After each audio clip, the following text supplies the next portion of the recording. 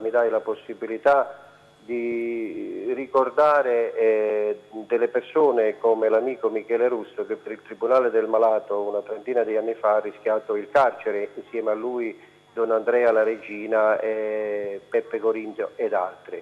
E quella famosa sentenza eh, che è scaturita a difesa del, del difeso del, del, dell'ospedale di Sapri ha fatto scuola e viene ritenuta una pietra miliare per il riconoscimento e la legittimazione dell'ospedale di Sapri. Il Tribunale dell'Armanato quindi è nato eh, per eh, eh, lottare e vive per la lotta della difesa della salute e dei diritti dei, dei cittadini.